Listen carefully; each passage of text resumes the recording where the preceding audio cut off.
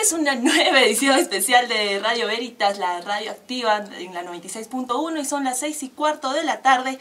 Y bueno, yo soy Rosario Jurado y les está acompañando con buena música y en esta ocasión con una buena entrevista a César Medina. ¿Cómo estás César Medina? Bienvenido a Cusco. Hola, ¿qué tal Rosario? Eh, primero gracias por el espacio que, que, nos brindas y también a través del programa saludar a todos los oyentes.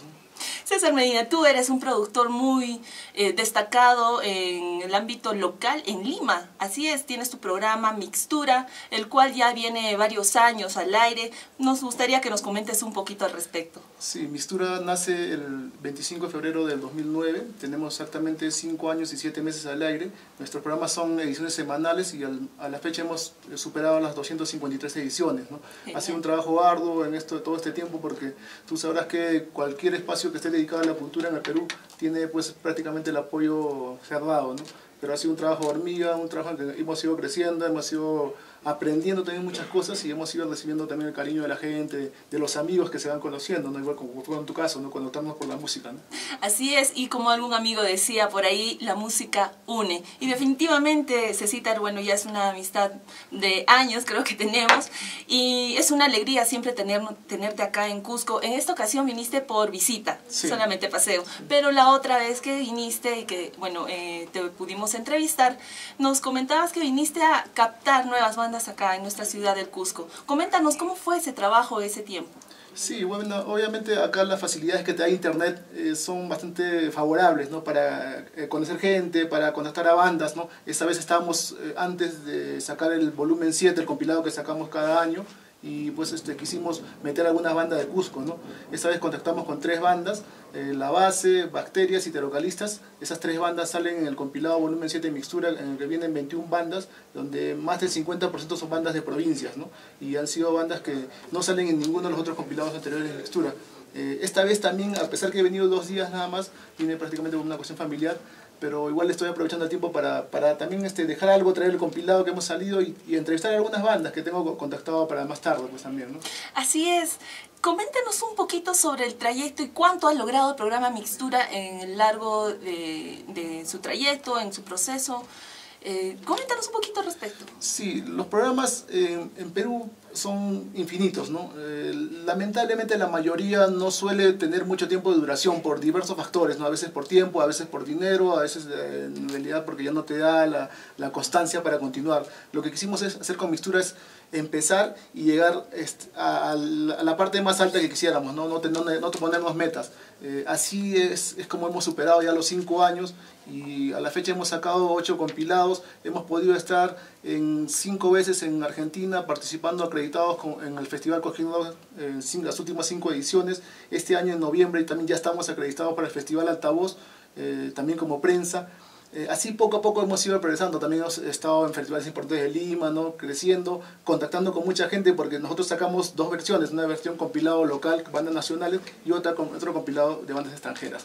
Estupendo, estupendo. Seguimos con César Medina y regresamos. Esto es Radio Veritas, la radio activa.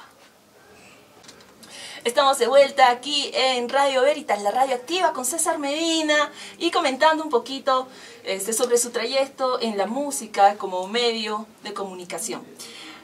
César, coméntanos cómo es que llegaron ustedes al Cosquín, porque en realidad pues llegar a ese festival tan, eh, internacional y tan grande es un logro no solamente para los artistas que llegan allá, sino también para los medios, ¿verdad? Coméntanos cómo fue esta aventura en realidad. Sí, yo desde, imagino de los 15 años, tuve, antes yo me carteaba con gente, hacía el correo tradicional, no mandaba paquetes con bandas, así y con el tiempo fui desarrollando amistades, ¿no? Eh, y cuando empezamos en el 2009 con el programa en, esta versión internet, hicimos rápidamente contacto. Nosotros centramos, quisimos nuestro mercado, quiso abarcar Sudamérica, ¿no? Y dijimos, ¿cuál es el país más grande que tiene más movida? Obviamente era Argentina, ¿no? Entonces decidimos concentrarnos primero en Argentina, ¿no? Luego en los demás países. Es así como buscamos festivales y escribiendo así eh, logramos contactar con la organización del Festival Corregidor. Yo veía, decía, es un festival tan grande, son tres días, son casi 100 bandas, 100 mil personas, debe ser un poco complicado entrar, no simplemente que, que te... Eh, la idea era comprar la entrada e ir, ¿no? pero al final eh, creo que hicimos tan buenas migas con la gente allá que nos acreditaron como prensa ¿no? en, el, en el 2010 y pudimos entrar a ese festival, eh, que fue en realidad una locura porque eh, aparte de las bandas que ves, de la gente que está ahí, puedes toparte con, con, ellos, no puedes conversar con ellos, puedes entrar a la zona de prensa y ver cómo trabajan los periodistas de dos, porque obviamente sí es prensa especializada, ¿no? aprendimos un montón de cosas. ¿no? Obviamente la primera vez nos llevamos un cargamento muy grande de bandas peruanas a las que repartimos allá a toda la gente de prensa y ya al año siguiente fue más fácil entrar, fue más fácil volver y la curiosidad es que, apenas volvimos la gente ya no nos conocía, dijimos, ahí viene el peruano, ¿cuántos discos has traído? Entonces la gente ya pedía sus discos para así y me pareció lo caso que, que sea eso, que difunda bandas peruanas, porque ellos nos posteaban los links, nos mandaban las notas, los fanzines, las revistas donde habían salido los discos peruanos y era pues este algo bacano, que un programa como nosotros que, era, que nos consideramos como humilde, ¿no? que habías nacido abajo, claro. este, pueda lograr esas cosas. Y así fue de año en año, ya pasaron pues cinco años consecutivos que, que hemos estado en ese festival. Ahora pues este, me vino la oportunidad de ir a otro país este, en este proceso también de crecimiento que queremos tener. ¿no? Y bueno, vine a Colombia para noviembre. ¿no? ¿Y cómo así los convocaron para ir a Colombia? Eh, fue también gracias a esto del Cosquín, ¿no? porque yo también busqué los contactos, porque ya tenía algunas bandas amigas colombianas, entonces dije, eh, traté de buscar quiénes organizan el Festival Altavoz. Fue así que me pasaron el contacto del productor general del evento, eh, le escribí, no me respondió, le escribí varias veces así hasta que bueno, en una de esas dije, bueno, voy a utilizar lo del Cosquín. Le dije, mira, yo he estado en el Cosquín cinco veces, mira, tengo esto, quiero ir para allá acreditado, quiero comprar mi pasaje, pero lo que quiero es estar acreditado, porque es un festival gratuito, tú puedes ir normal, pero yo quiero estar acreditado para cubrir todo lo que está ahí, aprender lo que, lo que, lo que se vive adentro, pues, ¿no? Y en esa me contestó, me dijo, mira, está bien, este, las credenciales todavía no salen, eh, pero tú si eres peruano tienes experiencias que me dices, entonces tienes las puertas abiertas, compra tu pasaje que vas a tener tu credencial, ¿no? Entonces este, se dio, ¿no? Yo pues, el 31 de octubre ya voy, viajo para, para Colombia, el festival es el 1, 2 y 3 de noviembre, ¿no?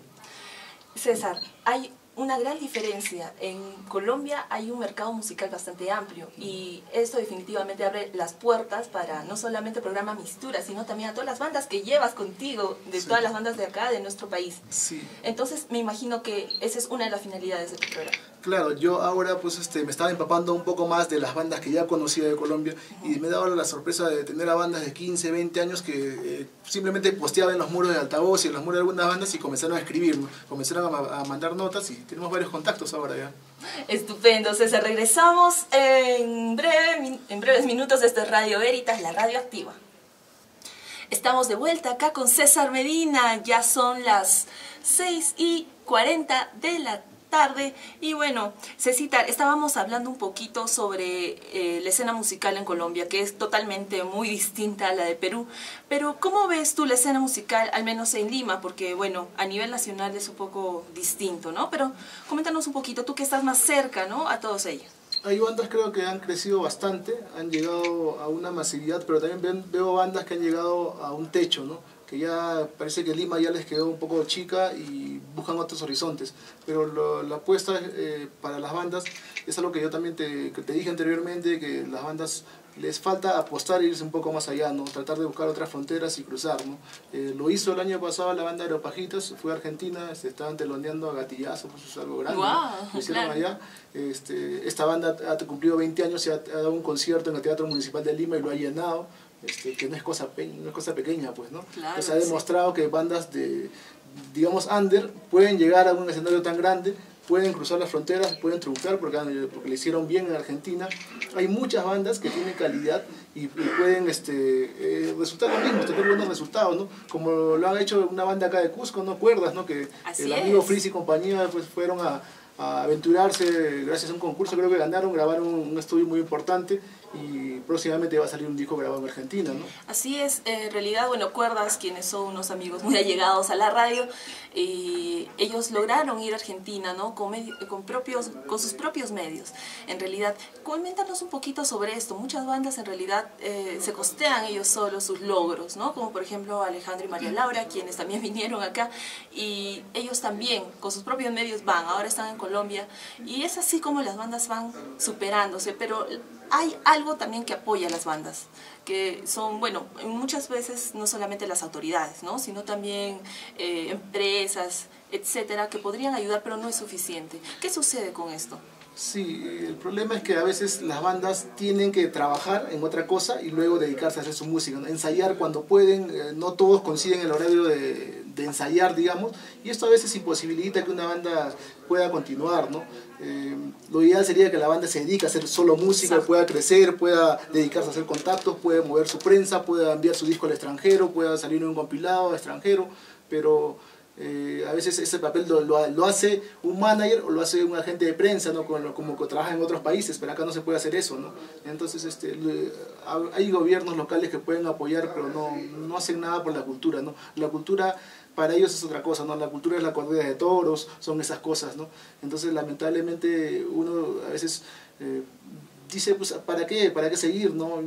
Eh, igual es Mixtura, Mixtura tiene la idea, la, la, historia muy parecida a una banda, ¿no? Nosotros pagamos un hosting, nosotros pagamos un dominio, eh, gastamos para hacer entrevistas, nos movilizamos, viajamos en plata a otro lado, entonces este, yo creo que lo que nos este, ayuda a seguir, eh, nos, nos, da impulso, simplemente es la pasión por la música, ¿no? por seguir conociendo gente, por seguir llevando una propuesta y puede ser por eh, llevar el, verdadero sentido de la música, ¿no? Eh, cruzar la frontera siempre. Así es. Eh, hay muchos conciertos en Lima que se han llevado a cabo gracias al gobierno local, ¿no? al, gobierno, al municipio de Lima. ¿Qué sucede acá? Por ejemplo, acá en nuestra ciudad imperial de repente no hay ese apoyo. Me estabas comentando en interno sobre el último concierto que organizaron, ¿no? ¿Y cuánto fue la llegada? Y bueno, me dijiste que eran gratis. ¿Cómo es esa movida? ¿Cómo es? ¿Funciona? ¿No funciona? ¿Qué sucede? Sí, el, en septiembre, el 6 de septiembre se realizó el Lima Vive Rock, la tercera edición, ¿no? Fue un festival en el que tocaron 18 bandas y se dio un tributo a la banda nacional Frágil, ¿no? Eh, la convocatoria oficial que arrojó la organización hablaba de cerca de 30.000 personas. ¿no? Yo creo que la cifra va por ahí, 20.000, 22.000 soles. Es un festival libre con bandas totalmente independientes, autogestionarias, y que bandas sin, sin la prensa atrás, no sin la prensa oficial, puedan llegar a cubrir este, este porcentaje de gente es importante. ¿no? Y bueno, yo al margen de la política creo que hay que felicitar al gobierno local que ha hecho tantos, de Lima, que ha hecho tantos este, festivales, ¿no? tres, tres festivales grandes, ha organizado eh, en todos los conos, en los parques de Lima, los organiza. Entonces está bien apoyar, es una forma de apoyar. El anterior gobierno no lo hizo, ¿no? Entonces este, la cultura... Eh, yo creo que no es, no es, algo que te van a regalar, ¿no? es un derecho que tienes que exigir, ¿no? y el gobierno local, porque tú le has dado tu voto, tiene que darte cultura, ¿no? tiene que dar, darte eh, ese tipo de esparcimiento que necesitamos. ¿no? Exacto, últimamente las personas no solamente están siguiendo la música por el ritmo, sino también por las letras, y eso es lo, lo que más importa en realidad, ¿no? Claro, eso es lo ideal, ¿no? Que, que, la música te haga pensar, ¿no? Una canción te pueda llevar, transportar y darte un mensaje, ¿no? Así es, regresamos en el programa, este es Radio Veritas, la radio activa. Y ya en el último bloque de este, esta edición especial de entrevistas en la radio. César, por favor, coméntanos cómo así surgió la idea de hacer compilados de varios grupos nacionales, internacionales, porque tú creaste el programa Pintura, pero ¿ya nació con la idea de hacer compilados o es que en el trayecto se creó la idea? No, esto nació luego del primer viaje a Argentina. Eh, la primera vez que fui comenzamos a llevar discos de bandas peruanas, pero nos dimos cuenta de que a veces llevábamos 50 discos, digamos, y se difundían ahí las bandas. Pero luego este, quisimos llevar más bandas y entregar más a, a, los periodistas, porque van más de 400 medios de comunicación extranjeros y nacionales, ¿no? Entonces nació el primer compilado de mixtura, ¿no? Para repartir allá. Y luego al siguiente año hicimos dos más y sacamos un DVD también y nos fueron pidiendo ya cada año que íbamos prácticamente era una obligación porque los mismos medios que ya nos conocían decían, oye, nos trae disco, entonces yo sacaba el lote de discos peruanos y aparte de los que llevaba también estaba compilado.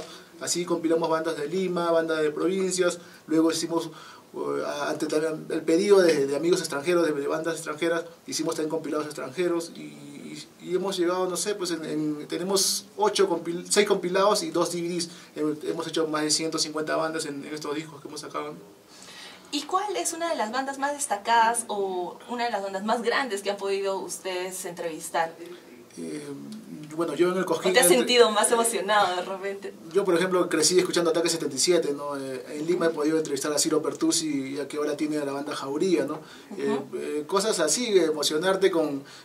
siempre leí, no pude nunca leer físicamente la revista Pelo, pero luego encontré algo en internet y, me topé con el nombre de, este, Ripoll, ¿no? que es el creador de Artista Pelo, y que, un famoso también organizador del Festival Buenos Aires Pardón, ¿no?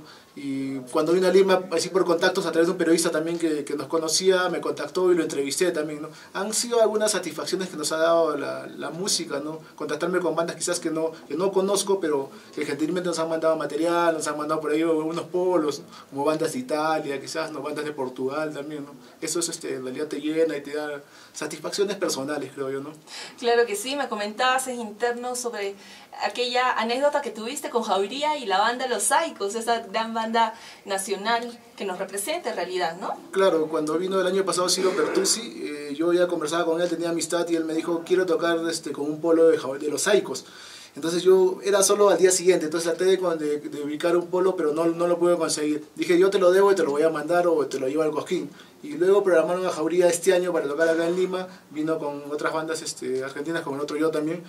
Y bueno, yo eh, mandé a hacer el polo y conseguí el polo, ¿no? Y este año se lo di antes de que toque y Ciro subió con el polo de los Saicos a tocar, ¿no? Una satisfacción también enorme que un ícono del, del pan en, en, Argentina puede tocar con otra banda ícono peruana y sudamericana que es los Saicos, ¿no? Exacto. Y además los Saicos, bueno, es una banda que en realidad a nivel mundial ha influenciado bastante. Se dice que es una de las bandas que ha creado prácticamente el pan, ¿no? Entonces, definitivamente deberíamos estar orgullosos nosotros los peruanos con semejante banda en realidad. Claro, y muchas bandas afuera conocen más de nosotros que, que nosotros lo que, sabemos de los saicos, ¿no? Porque varios me han nombrado, oye, los saicos, ¿qué tal banda, no? Y a veces estuve los saicos, entonces... Sí, no sabes, este, La gente ha hecho con el Revival, ¿no? Con los LP recién, pero ellos saben más la historia, ¿no? Así es. Cecita, ¿cuáles son los proyectos o, claro, los proyectos que en realidad el programa Mistura se está programando para el próximo año? acá lo inmediato es terminar este 2014 con lo de Colombia y ver qué, qué, es, qué se nos presenta ahí, ¿no? Estamos teniendo algunas reuniones para ver si de repente sacar una publicación impresa, que estamos tratándolo de trabajar, pero no queremos que sea algo de paso, entonces por eso, preferimos consolidar para decir, mira, sacamos algo y vamos a seguir sacándolo. ¿no? es, como, es como cuando sacamos, salimos del programa, ¿no? Si vamos a hacer mixtura, pero vamos a salir con mixtura, vamos a seguir, no vamos a parar de acá un año, no va a ser algo por pose ni nada de eso, ¿no? Igual con los compilados, ¿no? Entonces vamos a ver, en febrero estamos cumpliendo seis años, queremos hacer algo grande, ojalá que podamos hacer un nuevo concierto, porque muchos nos piden que volvamos a nuestras ferias concierto, que habíamos hecho tres, ojalá que se pueda dar. Pues, ¿no? Quizás de repente traes tu feria concierto acá. Sería, sería, sería. es una ciudad que quiero mucho, porque acá nacido mis padres, eh, eh, de hecho que es una de las provincias a la que más he viajado, y bueno, ojalá que se pueda dar, pues, ¿no? Porque acá hay muchos amigos, así que la música, como dijimos al comienzo, nos debe unir, ¿no? Yo creo que sí. Muchas gracias, César, por haber estado con nosotros. Disfruta tu estadía en Cusco. Y bueno, invita a todos que escuchen el programa Mistura por internet. Sí, agradecer a todos, a toda la gente que nos ha escuchado, a la gente de la radio, a ti, Rosario. Y bueno, la página web del programa es www.programamixtura.com y pueden escribirnos al correo programamixtura.yahoo.es. Eh, únanse y síganos y compartamos música. Así es, la música une. Esta ha sido una edición especial en Radio Veritas, la radio activa. Y bueno, hasta la próxima. Conmigo fue el día de hoy, sábado. Y bueno, un abrazo a todos quienes me están escuchando. Saludos a todos.